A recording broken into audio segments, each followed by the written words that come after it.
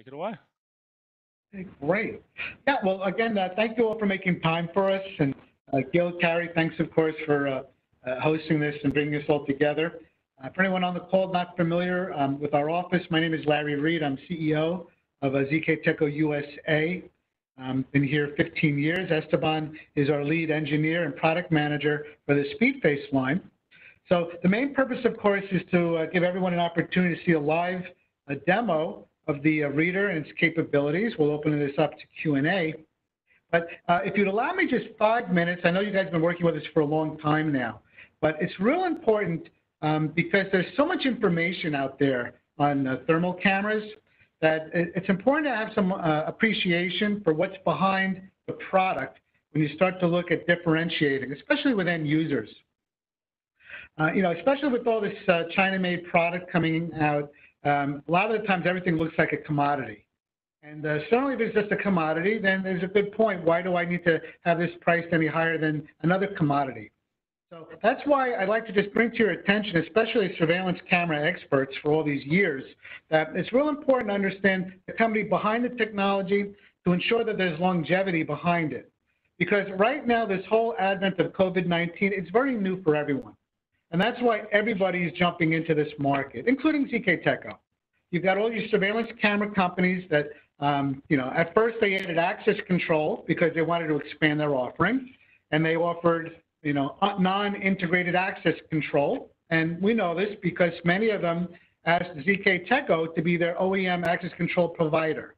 Uh, we decided years ago we were not going to do that. So they came out with their own access control. And now those surveillance camera companies come out now with body temperature because simple enough, just add a thermal sensor to a surveillance camera. So that's their approach. Of course, there are going to be more access control companies entering the market. I don't see any yet. And of course, you see a lot of digital thermometers coming onto the market, making all these claims. So end users, understandably, are very confused by all of this. It uh, understandably introduces skepticism and doubt because how could so many vendors be making the same claim? And then sometimes they think this is all made by one company and that the rest of us are just private labeling it. So if you'll allow me just five minutes just to briefly go through a little bit of background and then we'll jump into the presentation. Please understand that COVID-19, we hope it does not last that much longer. So point being is, what happens in the months to come after there's a vaccine? Where do all these vendors go? Do they still stay involved with this um, uh, body temperature, um, you know, uh, uh, market, or do they back off because there's no longer business in it? So of course you want to make sure you're working with a, with a vendor that's in there in here for the long run. So it's not just about a digital thermometer. Let's look at the technology behind it so your customer's investment is protected, even if one day there's no longer need to have body temperature checking. So that's why it's important to appreciate the SpeedFace series of readers. We were shipping these last year. It had already won several awards. And that's because in addition to body temperature mask detection, we're also the first outdoor rated face recognition access control company combining both infrared and visible light. IP68 rated, IK04 rated. So we had all this technology already. And reason being is we're a 20 year old access control company. This is what we do. If a vaccine comes out tomorrow, it doesn't change our business model. This is what we do for a living. So I just want to touch upon a little bit of the technology beyond just body temperature detection. Just a reminder, of course, I know your focus is surveillance cameras, but as mentioned before, we have a very comprehensive line. We have traditional RFID door access kits. We've got biometric door access kits. We have HID form, uh, card format readers. What's unique is we also manufacture all our own biometrics. We've been doing fingerprint for over 20 years. We've been doing face recognition over 10 years. And now we're doing palm recognition, and of course, we're doing multi-biometric. So this is nothing new to us, blah, blah, blah. You're already aware of this. We also have UHF readers, turnstiles, walk-through metal detectors, and even X-ray scanners. We're now one of 32 global offices, over 4,000 employees, uh, multiple manufacturing facilities. You might not be aware of this, but we manufacture in Thailand, and we also manufacture in India. In fact, we have um, Atlas panels manufactured in Thailand in our office. Absolutely global, and our R&D in the U.S. is in Silicon Valley. And um, in addition to that, you may not be aware, but uh, our team, of course, has grown considerably. This is a picture of our team here in Atlanta. There are about 20 of us, as well as having over 30 reps in the field.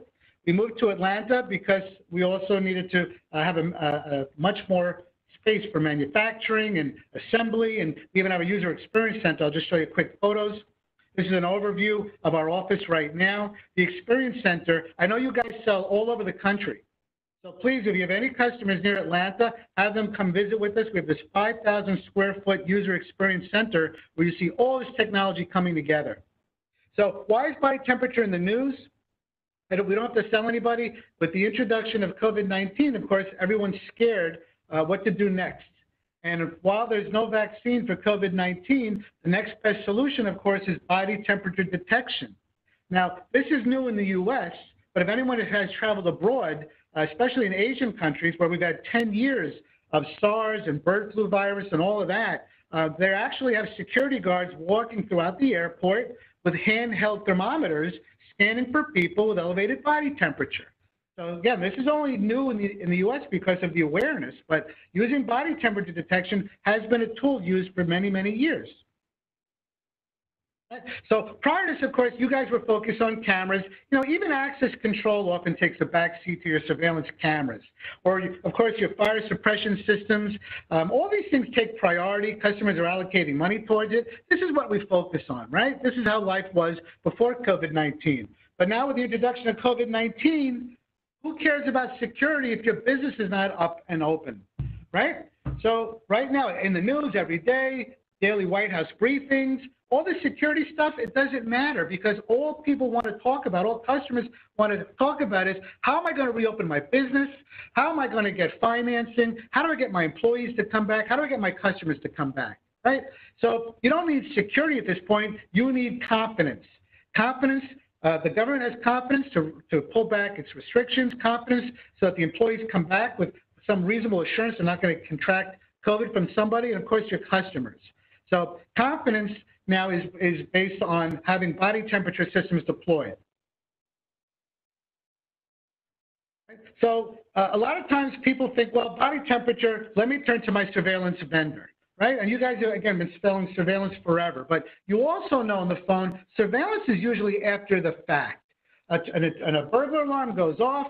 Hopefully you've got video recording of the intruder. You've got some evidence you've collected. And now hopefully you've got something to show the police so that they can go out, go out, find the bad guy, and hopefully reclaim whatever they, they stole from, your, from uh, the premise. So you guys probably know more about this than I do, but this presentation is for end users. We, show, we try to paint for them what does a surveillance solution look like using body temperature detection. You got your thermal camera, which is normally at least 10 to 20 feet away from your target audience. So typically you also have to purchase a black body so you can calibrate room temperature and contrast that with the people that you're, you're scanning. Then of course you got to be running face detection so that you can distinguish between a hot cup of coffee and a, a face. Uh, of course, you need to have body temperature detection software running. So um, you have that streaming through a network recorder where you're recording. And eventually, of course, that ends up in a monitoring station where we presume you've got security guards um, you know, looking at that film to see who has elevated body temperatures so that they can then presumably take action. But our point being here is this is really after the fact. With body temperature detection, you want to prevent people having an elevated body temperature before they enter the premise before they risk exposing customers and coworkers, before they risk exposing the security guard. Right? So that's why we say surveillance has a great role. And if all you need to do is scan tremendous amount of people, record who's got elevated body temperature for, for contact tracing and that kind of thing, yeah, we, we totally get that. In fact, we even have our own solution. We're not talking about today, but we have a surveillance camera that's got a thermal sensor, and we can do the same thing. We can scan, um, you know, dozens of people at the same time and record that, run it through an NVR, collect that, do analysis. We, we got that. But if the whole idea here is to reopen your business because you're scared that someone's going to contract an infectious disease, you need to think access control not surveillance. So that's why in this image, we have a person right by a turnstile that's got two of our SpeedFace readers. And once those readers detect that you have an elevated body temperature, you can either maybe just trigger a light, trigger an alarm, you could lock down the turnstile, because we are an access control company. Our devices have relays. Our devices have auxiliary inputs and outputs. Our devices have Wiegand input output. We do access control. So I just wanted to preface this online demo with just a reminder of the company behind the product. You know ZK is not going anywhere. You know Carrie and Gil are never going to stop bothering you guys for years to come. So we are in this business, you know, for, for forever. And, uh, and the product is not new. Access control, we were already winning awards last year. We've added a thermal sensor. So yes, the body temperature thermal sensor is new, but certainly the technology behind it is not. So I'm just going to skip ahead now to the live demo. I, I, hope you, you found some of that helpful, mostly to make sure your end users understand. I know you guys get it, but of course, you know, your dealers and your end users may not necessarily understand uh, the big picture. So I'll hand that off to Esteban. Thank you, Larry. Let me see how I can change my share here.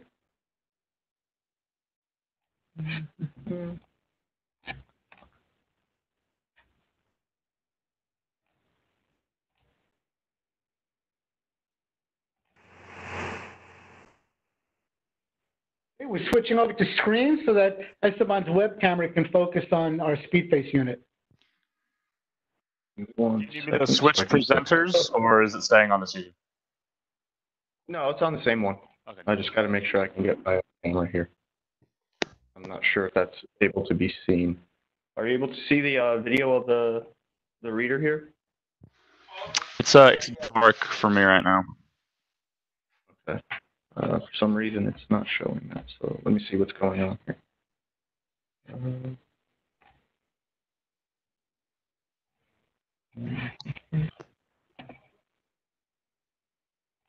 I'll just do a share the whole screen. Let me see.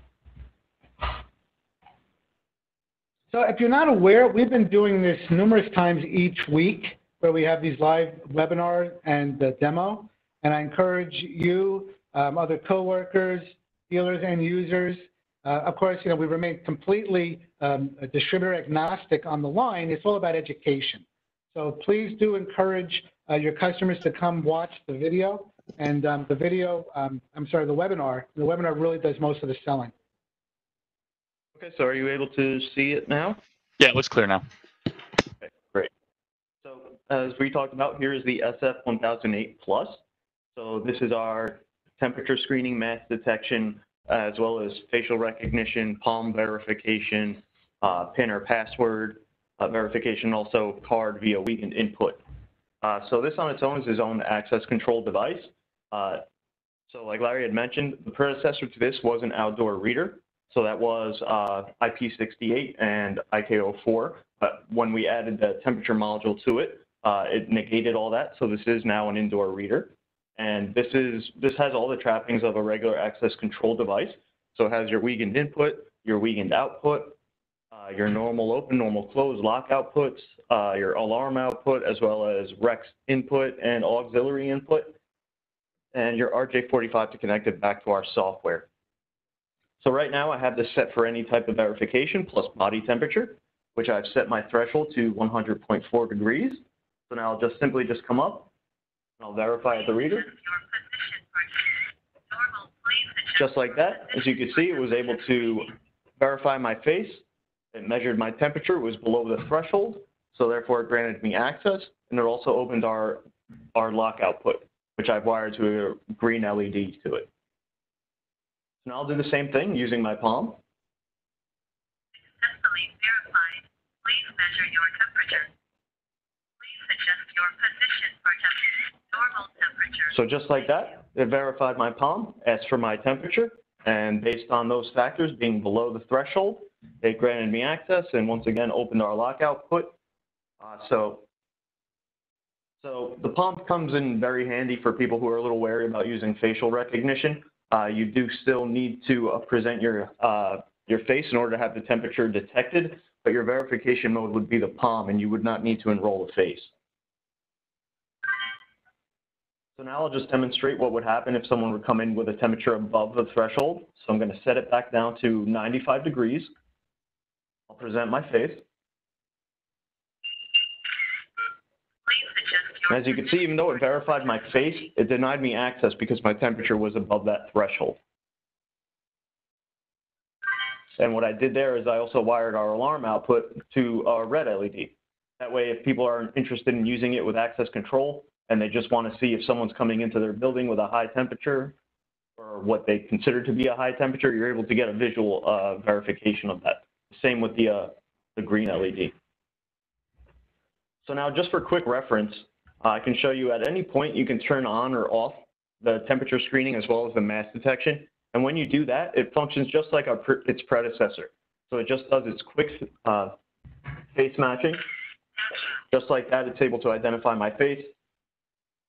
And just like that, it can identify my palm as well. And with that, it could identify my face up to 8 to 10 feet away. But once we turn the temperature screening on, you do need to be at least uh, 18 inches away from the reader. So now we'll go over a couple more settings that we have available in this menu and that this reader can do. So here we can, as you saw, you can manually set your high temperature alarm threshold. Uh, at any point, you can decide whether to deny access uh, based on the temperature being above, or if their temperature is above and you still want to allow access and get a report, you still can. We have our temperature units. So if you have any international customers, it can be switched to Celsius. We have our temperature measurement distance. Like I mentioned, it's currently set for far, and that's 18 inches away. And that's the optimal, uh, optimal distance you really want to be away from this. So that way you don't have a user getting too close to the reader in case they sneeze or cough or, or breathe too heavily on it. Uh, try and keep this reader as clean as possible and, as contactless as possible. We also have a built-in temperature deviation correction. So this is for your points throughout the day when it may uh, when, temp when temperature may be affected by, say, outdoors. So if someone is coming in from the in the morning and it's cooler outside, so their body temperature is a little lower, you can have it set here to add a few degrees to that to compensate for it. And same thing in the afternoon. If someone's coming in from being outside in the sun, their, their body temperature is a little warmer, you can have it subtract some, a couple degrees for that too. Another feature we have built in now uh, that's become quite popular is the mask detection. As you guys know, uh, pretty much you can't go anywhere now without wearing a mask. I know you can't walk into a grocery store without one. And especially for, and this was already the case, especially for places like restaurants, uh, food processing plants, anywhere that uh, where people are coming in contact with consumer products and they have to wear a mask. So we've added this function in. Now I'm just going to simply throw on my mask and show you how it works. I'll throw my mask on. I'll present myself to the reader. As you can see, it detects I'm wearing the mask. It verifies my face. And since my temperature is below that threshold, it grants me access. So now I'll do the same thing, but without the mask. So even though my temperature is below that threshold, it verifies my face, but I wasn't wearing my mask. So therefore, I wasn't following protocol, so it denied me access.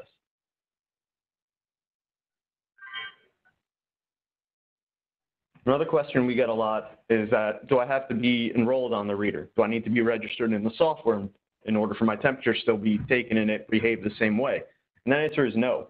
Uh, being able to click here for unregistered people to access, we allow for anyone to coming into the building, visitors, customers, anyone off the street, to still be able to walk in, have their temperature scanned, and then have it perform the same functions. So an unregistered user visitor can walk up with a normal temperature, they can be granted access, and with a high temperature, they would be denied access. We also have the capability of being able to cap to do a face capture of that person at that moment in time. That way, if you need to have any type of audit trails or contact tracing of where a person was at the point that they uh, that they measured high or that they registered at the, at the reader, we're able to do that. And when we do that, we do include a privacy agreement. This is just letting the, the end user and the customer know that ZKTeco does not collect any data, therefore we do not share any data, we don't data mine, we don't have any type of cloud access that we, that we can tap into to get databases or anything like that. All these devices are software, everything lives on your network and your servers, and we have absolutely zero access to it or any of the data on it unless, of course, there is some type of troubleshooting done by the integrator or dealer, and we need to remote in via TeamViewer session, but that's the only time we would have access to any data, and that would be with the customer's consent. So now I'll switch over here to our biosecurity software. So this is our biosecurity software. It's our enterprise uh, enterprise level access control software, which all of our devices connect to. So all our panels, uh, all our ele- elevator control panels, our kiosks, if anyone has uh, ONVIF compliant or any other type of camera, IP cameras, they can connect and monitor through here as well. And with the release of these readers, we've added a temperature management module. So with this temperature management module, uh, whether you have the captures enabled or not, you're able to see a real-time monitoring of what's going on. So obviously, if you have the captures enabled, you'll be able to see that person's face at that point in time. And you'll also be able to see any abnormal temperatures, any masks, anyone not wearing a mask when they should, will all show here in real-time monitoring. So if you have a guard uh, that's watching the screen, you can have them act on that. And also, we do keep an, an audit trail of all our raw records, and these are all exportable and able to be saved onto the PC or anywhere they need to, the, the company needs to have it. So you'll be able to get all your raw records here, along with any type of pictures that were taken at that point, if that's enabled. You can also get uh, just the records of just the personnel. So you can see here, these are all my check-ins from the 19th alone. So if you need to just see all the check-ins for someone on a certain day, you're able to do that. And you can go as far back as you need to. Or if you just want to see any high temperatures, you're able to keep that here too as well. And you can even check by department. So another great feature we've built into this is the ability to do all the same configuration you just saw me do on the reader to be able to do it from the software itself.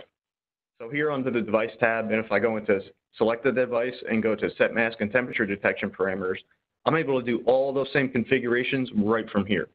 So I can enable my temperature screening, choose to deny access based on that, change my threshold, do my deviation correction. Uh, all of everything you just saw me do on the reader, you can do from here. And this saves a lot of time. That way, if you have several of these deployed throughout a building or a campus or anything like that, you don't have to have one dedicated person to be running back and forth all day to do any changes. And for these, they can be customizable for each reader on its own. So you don't have to do all readers at the same time. Uh, you can do each one with its own custom settings. We also have the ability to send out email alerts based on a high temperature or someone not wearing a mask. So all you have to do is just create your linkage here, and you're able to get an email notification to whichever email you have set up to be able to get uh, the time, place, uh, temperature, whether they were wearing a mask or not. You're able to get that alert in real time on your phone. So another important thing I always like to throw out there is that when it comes to uh, temperature screening, we are not a medical device. We're not, we're not claiming to have any medical benefits. Uh, we don't provide the cure for COVID. We don't stop the spread of infectious diseases. All we simply do is just report that person's body temperature at that moment in time that they're presented at the reader. So just because someone comes in, it may beep that there's a high temperature, doesn't necessarily mean that, you know, they're sick. You have to call the emergency. Uh, you don't have to take them to the emergency room. You don't have to, you know, uh, call for an ambulance or anything like that. All we're suggesting is that, hey, according to the settings you set on this reader, this person's temperature is above that threshold. So after that, it's really up to that business to have something, some type of protocols in place for that. Uh, we kind of liken it to a metal detector. So if someone walks through the metal detector, it beeps, doesn't necessarily mean that person is carrying a knife or a gun or that they're a threat. Usually they would just, you know, step over and then they would be wanded by a security guard. And then based on their findings there, they would either be given access or denied access. Same thing with this. It's kind of like a first line of defense. Someone comes in with a high temperature. Uh, I don't know if they're going to have a nurse on site. There's going to be someone standing there with another thermometer. If you want to give them a couple minutes to cool to cool off or warm up based on the outside temperature, uh, that's all completely up to the business. A lot of businesses are going to have to have these in place now, and there's no one blanket uh, procedure that everyone is following. So everyone's kind of have to get their HR involved, their department heads as to how they want to tackle it. So that's another thing that's just something really important that we want to stress, uh, that we're not a medical device, no medical benefits, just taking that person's temperature at that point in time.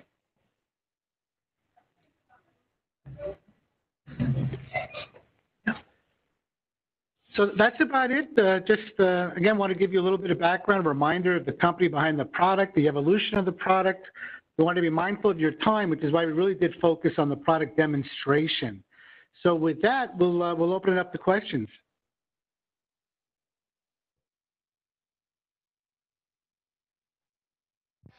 Just to um, little FYI to everybody who's in the uh, chat right now, you're all automatically muted. So if anybody would like to ask a question, you're gonna have to unmute yourselves first. Thank you.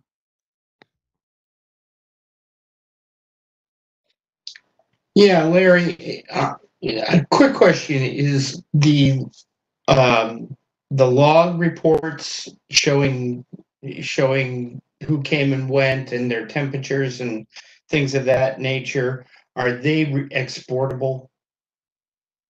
Yes, they they can all be exported via CSV or Excel file. Yeah, th- this is no different than any other access control um, product that we've uh, released in the last five or six years. These are all storing and matching templates. They're storing transactions. In addition to the transaction file now, of course, is the body temperature uh, reading. And then that data lives and breathes on that device. And then it's up to the end user whether or not they wish to uh, use our ZK Biosecurity software for centralized management and the database uh, uh, housing. Thank you.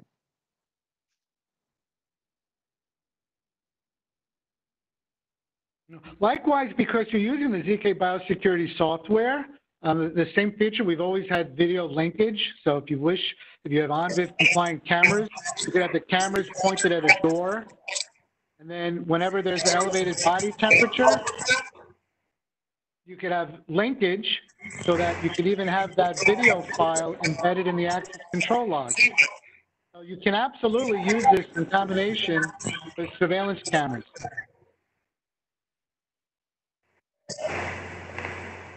Hey, guys, uh, I think you said that you had to be within 18 inches uh, for the reader to detect. Is that both palm and face? I'm sorry, can you repeat that? It was a little, it was cutting out a little bit. I believe you said 18 inches was the distance for re- the reader to operate. It's 18 inches for the temperature to be scanned. That's the farthest you can be from getting an accurate temperature. Gotcha. But the, the palm reader could still be farther away than that. Uh, the palm, uh, for just palm, you want to keep it around that distance as well, because it's not going to be able to pick it up from far away. But the face, it can pick up without the temperature on from about eight to 10 feet. Gotcha. Thank you.